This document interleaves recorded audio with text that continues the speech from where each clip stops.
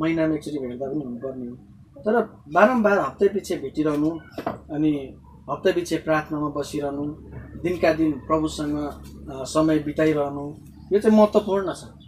है यो महत्त्वपूर्ण भएको कारणले गर्दाखेरि नै हिब्रू दसको पच्चिसले के भन्छ भने तिमीहरू चाहिँ एकअर्कासँग एकसाथ भेला हुन नछोड होइन?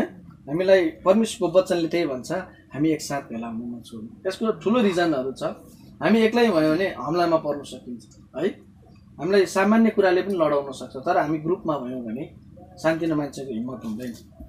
त्यो मान्छेसँग त भेट्छ है भन्ने है अनि अर्को कुरा जब हामी एकसाथ सहमत भएर प्रार्थना गर्छौँ प्रभुको वचनले के भन्छ भने तिमीहरू सबैजना मिलेर हो भनेको कारणले त्यो प्रार्थना चाहिँ सुनाइ हुन्छ भनेको छ है? अनि हाम्रो भिड हुनुमा चाहिँ शारीरिक रूपमा मात्रै हामी फाइदामा छैनौँ तर आत्मिक रूपमा पनि हामी फाइदामा छौँ। परमेश्वरले यसै कारण हामीलाई एकसाथ भेला हुन नछोड्नु भन्नुभएको पनि। म लामो समय लिने छुइनँ। म दुई तिनवटा खण्ड पढ्नेछु अनि त्यसलाई थोरै अर्थाउने छोडेर हामी प्रार्थना गरिहाल्नेछौँ। हामीले यौनाको पुस्तक बिस अध्यायको बाइसलाई हेऱ्यौँ भने हामी धेरै हेर्दैनौँ बाइसलाई मात्रै हेर्छौँ। त्यसपछि फेरि अर्को खण्ड एउटा हेर्नेछौँ। त्यसपछि फेरि अर्को एउटा तिनवटा खण्ड हेर्नेछौँ। यहाँ चाहिँ विशेष गरी पवित्र आत्माको विषयमा बताइएको छ। आज म पवित्र आत्माको विषयमा केही कुराहरू यहाँहरूको माझमा ल्याउने प्रयास गर्दैछु। यहाँ यसरी लेखिएको छ। यहाँ यसरी लेखिएको छ म पढ्दैछु। यौनाको पुस्तक बिस अध्यायको सुसमाचार यौनाको पुस्तक बिस अध्यायको बाइसमा। म पढ्दैछु यहाँ सुन्नुहोस् है त। अनि यति भनेर उहाँले तिनीहरूमाथि श्वास फुकेर भन्नुभयो पवित्र आत्मा। ल्याऊ है? अर्को एउटा खण्ड म पढ्न चाहन्छु। प्रेरितको पुस्तक दुई अध्यायको एकदेखि चारसम्म। यहाँ यसरी लेखिएको छ जब पेन्तिकोसको दिन आयो तिनीहरू सबै एकै ठाउँमा भेला भएका थिए। अनि स्वर्गबाट अचानक ठुलो बतासको झोका जस्तै एउटा आवाज आयो। र तिनीहरू बसेको पुरै घरै भरिदियो आगोका जिब्राहरू जस्ता तिनीहरू कहाँ देखा परे र भाग भाग भएर तिनीहरू हरेकमाथि बसे अनि तिनीहरू सबैजना पवित्र आत्माले भरिए र पवित्र आत्माले दिनुभए तिनीहरूलाई दिनुभएको उच्चारण बमोजिम तिनीहरू अन्य भाषाहरूमा बोल्न लागे। अनि अझै अर्को एउटा पनि हेरौँ। प्रेरितकै पुस्तकको चार अध्यायको सत्ताइसदेखि हामी हेरौँ है त। सत्ताइसदेखि तल एकतिससम्म हामी हेर्नेछौँ यसरी लेखिएको छ किनभने साँच्चै तपाईँले अभिषेक गर्नुभएका तपाईँका पवित्र सेवक येशूको विरुद्धमा हेरोद पन्तिस पिलाथस दुवैजना अन्य जाति र इजरायलीहरूसँग यसै सहरमा भेला भएका थिए। त्यही गर्नलाई जे तपाईँको बाहुलीबाट र तपाईँको योजना अनुसार अघिबाटै ठहराइएको थियो। अब हे प्रभु तिनीहरूको धम्कीमाथि नजर गर्नुहोस् र तपाईँका दासहरूलाई पुरा साहससित तपाईँको वचन बोल्न दिनुहोस्। र निको पार्नलाई तपाईँको आफ्नो बाहुली फैलाउनु हुँदा आफ्नो पवित्र सेवक येशूको नाउँद्वारा चिन्ह र आश्चर्य कामहरू हुन्। एकतिसमा पढ्दैछु तिनीहरूले प्रार्थना गरिसके पछाडि तिनीहरू भेला भएको ठाउँमा कम्प भयो र तिनीहरू सबैजना पवित्र आत्माले भरिए र तिनीहरूले साहससित परमेश्वरको वचन बोले। हामी सबैले भन्नेछौँ आमे मैले तिनवटा खण्ड पढेको छु। पहिलो खण्डमा मैले यहाँ पढेँ। प्रभु यीशु ख्रिस्टले जब प्रभु यीशु ख्रिस्ट अ, मर्नुभयो मारियो मारियो उहाँलाई उहाँ क्रुसमा चढ्नुभयो अनि उहाँ मर्नुभयो। तिन दिन तिन रात उहाँ चिहानमा गाडिनु भयो अनि तिन दिन तिन रात पश्चात उहाँ जब दौडी उठ्नुभयो है जब बौरी उठ्नुभयो चेलाहरू एकसाथ भेला भएर बसिरहेका थिए। त्यतिखेर यसु भित्र आउनुभयो र चेलाहरूलाई भन्नुभयो है के भन्नुभयो भने धेरै कुरा भन्नुभयो। माथि तपाईँले बिस अध्यायको उन्नाइसदेखि हेर्नुभयो भने उहाँले धेरै कुराहरू भन्नुभयो। तर बाइस अध्यायमा आएर उहाँले यसरी भन्नुहुन्छ यति भनेर उहाँले तिनीहरूमाथि श्वास बोक्नुभयो भन्छ गरेर होइन?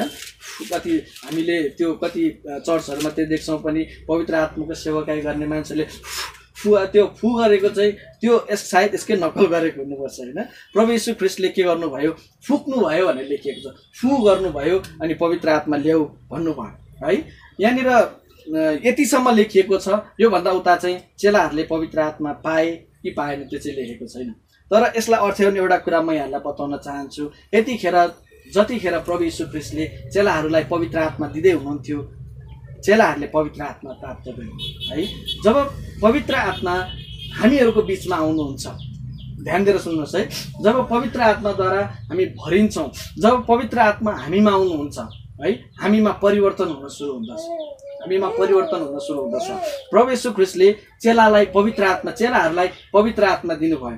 तर यहाँ प्रेरितको पुस्तक दुई अध्यायमा जस्तो केही चिन्हहरू देखिएको छैन। केही चमत्कारका कुराहरू देखिएन। त्यतिखेर मानिसहरूले के अन्य भाषाहरूमा बोल्न थाले प्रचार गर्न थाले होइन? तर यहाँनिर चाहिँ केही चिन्ह देखिएको छैन। तर म तपाईँहरूलाई एउटा वास्तविकता भनौँ। योभन्दा अगाडि तपाईँले हेर्नुभयो भने चेलाहरूमा को भन्दा को ठुलो हुने हुने भन्ने कुरा चेलाहरूको बिचमा थियो। मतभेद थियो। चेलाहरूले चेलाहरूलाई ओ त सानो म ठुलो भन्ने कुरा भइरहेको थियो। एकले अर्कालाई गन्दैन थियो चेलाहरूले। त शिक्षित म अशिक्षित त अलिक परमेश्वर प्रभु यीशु ख्रिस्टको अलिक छाती छेउको हामी चाहिँ अलिक परको भन्ने खालको कुराहरू मतभेदहरू पनि थियो। यो कुरा प्रभु यीशु ख्रिस्टलाई थाहा थियो। यहाँ अलि अगा अगाडि तपाईँहरूले हेर्नुभयो भने को स्वर्गीय राज्यमा सबैभन्दा ठुलो चाहिँ को हुने? महान स्थानमा को बस्ने भन्ने खालको विवादहरू पनि आइसकेको थियो। यो कुरा प्रभु यीशुलाई थाहा थियो। हेर्नुहोस् जब प्रभु यीशु ख्रिस्टले चेलाहरूलाई श्वास फुक्नुभयो पवित्र आत्माले चेलाहरू भरिए उनीहरूको त्यसपछि तपाईँले हेर्नुभयो भने प्रेरितको पुस्तक तुरन्तै सुरु हुन्छ चेलाहरू छुट्टिएका छैनन्। म ठुलो त सानो भन्ने कुरा त्यहाँ छैन। उनीहरू सबै एक समान भएका छन्। एउटै भएका छन्। अलिकति तल तपाईँले प्रेरितको पुस्तकमा हेर्नुभयो भने तिनीहरू एकसाथ बसेर प्रार्थना गर्न थाले भनेको छ। तर अलि अगाडि हेर्नुभयो भने थोमा बाहिर निस्केर गएको थियो।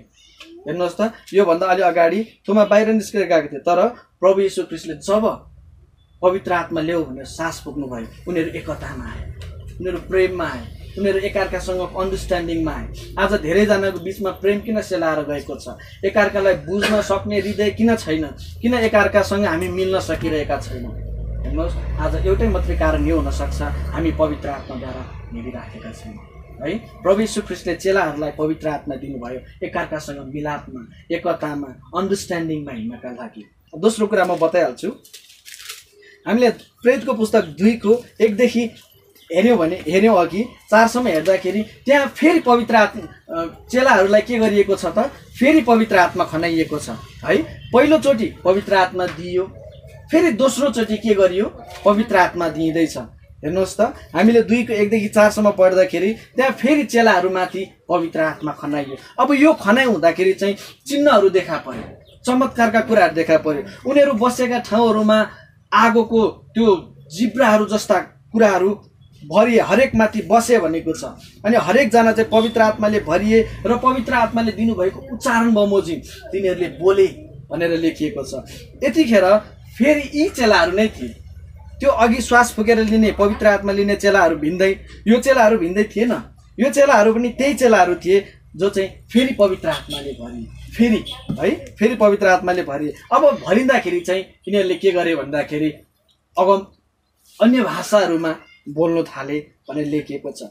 जब यो यो समयमा पवित्र आत्मा खनाइयो यहाँ चिन्ह र चमत्कारका कुराहरू प्रभावकारी उपदेशहरू हेर्नुहोस् त प्रभावकारी। योभन्दा अगाडि पनि इजरायलका मानिसहरूले परमेश्वरको वचन सुनेकै थिए तर तिन हजार मानिस फर्केर किन आए त? प्रभावकारी उपदेश। है जसै पवित्र आत्माद्वारा चेलाहरू भरिए चेलाहरू भरिने बित्तिकै के भयो? उनीहरूको बिचमा उनीहरूको जीवनमा काम हुन थाल्यो। उनीहरू अरू अरू अन्य भाषाहरूमा बोल्न थाले। प्रभावकारी उपदेश सुरु भयो। अलि अलि पछाडि हेर्नुभयो भने यहाँनिर लङ्गडो निको पारियो भने तिन अध्यायमा हेर्नुभयो भने दुईमा भरिएको छ भने तिनमा आश्चर्य कर्म हुन सुरु भइसकेको छ। जन्मैदेखिको लङ्गडो चाहिँ के भयो? निको पार्न सुरु भयो। है? अब यो दोस्रोचोटि खनाइएको पवित्र आत्माको कुरा चाहिँ हामीले यसरी बुझ्न सक्छौँ। फेरि यो चेलाहरूलाई यसकारण भरिनु पर्थ्यो कि उनीहरू उनीहरूको जिब्रो चाहिँ परमेश्वरको शक्तिद्वारा चलाइनु पर्थ्यो। है हामी यसलाई यसरी पनि बुझ्न सक्छौँ। पवि परमेश्वरको पवित्र जन पवित्र आत्माद्वारा भरिएको छ भने उसको जिब्रो चाहिँ आत्माको नियन्त्रणमा हुन्छ है आत्माको नियन्त्रणमा हुन्छ अरे।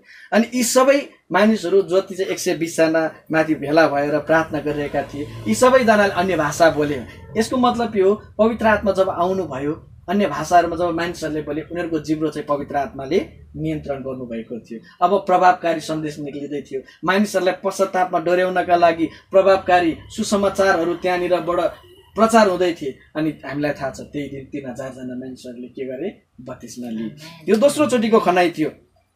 हेर्नुहोस् त यो दोस्रो चोटिको अब तेस्रो चोटिको खनाइमा यहाँ फेरि भनेको छ प्रेरितको पुस्तक चार अध्यायको पैँतिसमा है एकतिसमा यसरी लेखिएको छ तिनीहरूले प्रार्थना गरिसकेपछि तिनीहरू भेला भएको ठाउँमा कम्प भयो र तिनीहरू सबैजना पवित्र आत्माले भरिए हेर्नुहोस् त फेरि अघि एकचोटि सुरुमा प्रभु यीशु ख्रिस्टले भर्नुभयो फेरि दोस्रोचोटि उनीहरूले प्रार्थना गर्दै गर्दा उनीहरू फेरि पवित्र आत्माले भरिए। अब तेस्रोचोटि फेरि उनीहरूले प्रार्थना गरिसके पछाडि तिनीहरू सबैजना पवित्र आत्माले भरिए भनेर लेखिएको छ। तर त्यो अलिक तल हेर्नुभयो भने जब यिनीहरू पवित्र आत्माले भरिए तब तिनीहरूले साहसित परमेश्वरको वचन बोले भनेर लेखिएको छ आज धेरैजनालाई परमेश्वरको वचन बोल्न किन साहस आउँदैन? किन हिचकिचाहट हुन्छ? ओहो परमेश्वरको वचन बोल्दा त के किन बोलेको जस्तो मलाई केही नआएको जस्तो केही नभएको जस्तो किन फिल भइरहेको छ? है? यतिखेरको समयमा यहाँहरूले यो घटनालाई राम्रोसँग पढ्नुभयो भने परमेश्वरको वचन बोलेकै कारणले गर्दा यिनीहरूलाई ठुलो सतावटहरू आइराखेको थियो। महासभाको अगाडि यिनीहरूले गाली खानुपर्ने कुराहरू कुटाइ खानुपर्ने कुराहरू सतावटको कुराहरू आइराखेको थियो। अब उनीहरूलाई अब नबोल्नु है भनेर धम्की आइराखेको बोलिस् भने तिमीहरूलाई सिध्याइदिन्छु म। सिध्याइदिने महासभाले नै भनिरहेको थियो। बुद्धिजीवीहरूको बिचमा खडा गरिएको थियो। है? यसो भएको कारणले गर्दा उनीहरूले साहससँग परमेश्वरको वचन बोल्न सकिरहेका थिएनन्। अब उनीहरूले प्रार्थना गर्छन्। उनीहरूले प्रार्थना गर्दै गर्दा उनीहरू भेला भएको ठाउँमा चाहिँ हल्लिन्छ है? कम्प भयो भन्छ। त्यो हल्लिएको कारण त्यो हल्लियो हल्लिसके पछाडि त्यहाँ चाहिँ पवित्र आत्मा फेरि दियो अनि त्यो दिएको कारण उनीहरू फेरि भरिए। पवित्र आत्माद्वारा उनीहरू फेरि भरिए र तिनीहरूले साहसित परमेश्वरको वचन बोले। आज यी तिनवटा कुरामध्ये हामी कुन स्थानमा छौँ? हामीले आफैले आफैलाई विचार गर्न सक्छौँ। है? हामी पवित्र आत्माले भरिएका मानिसहरू हौँ। पवित्र आत्मा आज सेवाकाईमा हुनुहुन्छ प्रिय दाजुभाइ दिदीबहिनीहरू। यसु सिंहासनमा हुनुहुन्छ। परमेश्वरको दाहिने बाहुलीमा दाहिने सिंहासनपट्टि उहाँ हाम्रो निम्ति आज पनि मध्यस्थता गर्दै हुनुहुन्छ। आज उहाँ आफ्नो सेवाकाईमा हुनुहुन्छ तर आज हामीहरूको बिचमा दिएको प्रमुख सेवा गर्ने व्यक्ति पवित्र आत्मा हुनुहुन्छ। आज पवित्र आत्मा हामी जसरी सेवाकाई गर्दैछौँ हामीलाई डोर्याउनु हुने हाम्रो मध्यस्थकर्ता हाम्रो सल्लाहकार हामीलाई सहायता गर्ने हाम्रो पवित्र आत्मा हुनुहुन्छ। आज हामीलाई पवित्र जीवन जिउन सिकाउनु हुने केवल पवित्र आत्मा परमेश्वर मात्रै हुनुहुन्छ। है म तपाईँहरूलाई जिउन सिकाउन सक्दिनँ। है तर हाम्रो परमेश्वरले चाहिँ हामी उहाँ आफै पवित्र हुनुभएका कारण हामीलाई पवित्र तरिकाले जिउन सिकाउनुहुन्छ। यसै कारण उहाँ हामीलाई दिइएको छ। आज हामीमा उहाँ आउनुभएको छ। हामीमा उहाँको छाप लगाइएको छ। आज हाम्रो बिचमा एकता मिलापहरू छैन।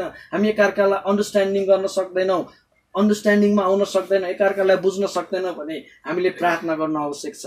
प्रभु हामीलाई तपाईँको उपस्थितिले भर्नुहोस्। हामीलाई एकअर्कासँगको अन्डरस्ट्यान्डिङ दिनुहोस्। एकअर्कालाई बुझ्ने मन दिनुहोस्। एकअर्कालाई हृदय एकअर्काको हृदयलाई जान्ने एकअर्काको मनलाई बुझ्ने एकअर्कासँग हिँड्ने हामीलाई तपाईँको शक्तिले भर्नुहोस् अनि हामीले प्रभुसँग यसरी प्रार्थना गर्दै हिँड्नु आवश्यक छ। पहिलो कुरो। दोस्रो कुरा यदि हामी अन्य भाषाहरूमा आजको दिनसम्म बोल्न सकिरहेका छैनौँ भने हामीले प्रार्थना गर्नु पर्यो। प्रभु तपाईँको आगमनमा त अन्य भाषा खोलिन्छ अन्य भाषा दिइन्छ। तपाईँले दिनुहुने भाषा बोल्नका लागि मलाई तपाईँको उपस्थितिले भर्नुहोस्। अर्को कुरा आज हामी घटलाग्दो सन्देशहरू होइन मानिसहरूलाई प्रभुको राज्यमा ल्याउन चाहन्छौँ तर ती मानिसहरू समक्ष हामीले प्रभावकारी तरिकाले काम गर्न सकिरहेका छैनौँ भने फेरि पनि हामी पवित्र आत्माकोमा जानुपर्छ र हामीले प्रार्थना गर्नुपर्छ। प्रभु हामीलाई तपाईँको उपस्थितिले भर्नुहोस्। म प्रभावकारी तरिकाले तपाईँ परमेश्वरको राज्यमा काम गर्न चाहन्छु। मलाई तपाईँ परमेश्वर उदयको शक्तिले भर्नुहोस् ताकि म तपाईँ परमेश्वरको शक्तिले भरिएर तपाईँका मानिसहरूलाई तपाईँको उपस्थितिसम्म ल्याउन सकौँ। तेस्रो कुरो तेस्रो कुरो उनीहरू तेस्रोचोटि पनि भरिए। उनीहरूले साहसको लागि प्रार्थना गरे। हामी धेरै समय परमेश्वरको काम गर्नका लागि हामीमा बल पुगिरहेको हुँदैन। हामीलाई कता कता रोकावट भइरहेको जस्तो छेकावट भइरहेको जस्तो बल नपुगेको जस्तो महसुस हुनसक्छ त्यतिखेर फेरि पनि हामीले परमेश्वर पवित्र आत्मासँग प्रार्थना गर्नुपर्छ र भन्नुपर्छ प्रभु मलाई तपाईँको शक्तिले भर्नुहोस्। म तपाईँको राज्यमा काम गर्न चाहन्छु। मलाई तपाईँको वचनले भर्नुहोस्। मलाई त्यो मध्यस्थता त्यो प्रार्थना त्यो बिन त्यो मलाई बलले भरिदिनुहोस्। र हामीले प्रार्थना गऱ्यौँ निश्चय नै पवित्र आत्मा आत्मा आज बदलिनु भएको छैन। जुन पवित्र आत्माले चेलाहरूलाई प्रभावकारी तरिकाले सेवाकाई गर्न सक्ने बनाउनु भयो त्यसरी नै हामीलाई पनि पवित्र आत्माले प्रभावकारी तरिका हाम्रो जीवनमा काम गर्न सक्ने तुल्याउनुहुन्छ। तर हामी चाहिँ राजी हुनुपर्दछ हामी चाहिँ समर्पित हुनुपर्दछ। उहाँ आफै आएर बल जबरजस्ती गर्नुहुन्न तान्नुहुन्न तैँले गर्नै पर्छ भन्नुहुन्न। तर हामी स्वतन्त्र विचारअनुसार हामीले हाम्रो प्रभु मुक्तिदाता येसुलाई जसरी ग्रहण गऱ्यौँ अब यस पवित्र आत्मालाई पनि हामीले हाम्रो जीवनमा काम गर्ने मौका दियौँ भने उहाँलाई हाम्रो जीवनमा पूर्ण समर्पित भएर उहाँमा पूर्ण भरिएर अब प्रभु तपाईँ नै हुनुहुन्छ अब तपाईँले नै सुरु गर्नुहोस् भनेर हामीले उहाँलाई आफैले आफैलाई उहाँमा समर्पित गऱ्यौँ भने निश्चय नै उहाँ हाम्रो कुमाले हुनुहुन्छ। हामीलाई आकार दिनुहुन्छ हामीलाई काम लाग्ने भाँडो तुल्याउनुहुन्छ हामीलाई प्रभावकारी सेवाकाई गर्न सक्ने सामर्थ्य उहाँले नै दिनुहुन्छ। हुन्छ यति भन्दै यहाँहरूको बिचमा म बा आजको वचनको समयलाई यतिमै राख्न चाहन्छु। फेरि पनि हाम्रो यो सुन्ने चाहिँ हाम्रो भाइ। सबैलाई